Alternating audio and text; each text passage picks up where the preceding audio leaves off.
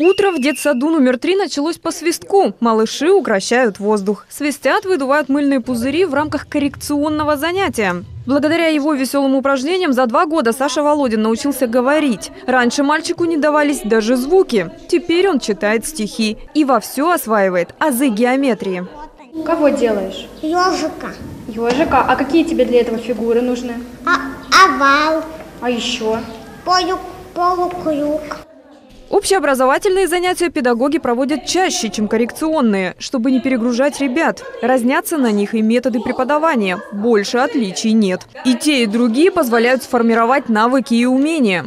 Занятия по опытной экспериментальной деятельности, которые вот проводятся в нашей группе, э, дети их очень любят. Почему? Потому что это всегда очень интересно. Э, работа с материалом, э, проведение опытов. Э, почему мы проводим эти занятия? Потому что они развивают мышление, логику, ну и, конечно, речь. При этом ребята в буквальном смысле играют, даже если учатся писать и читать. Такую форму преподавания установили федеральные власти.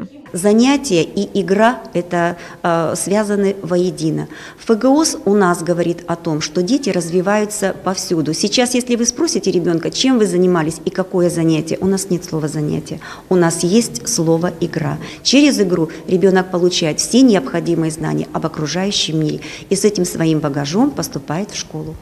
Такие полезные игры бесплатны всегда и для всех. Полный перечень того, чему учат педагоги, можно узнать в любом из детсадов. К слову, тот, что под номером 3, в этом году выпустил почти 250 ребят. 125 из них с нарушениями речи и зрения. Все на общих основаниях учатся в школах.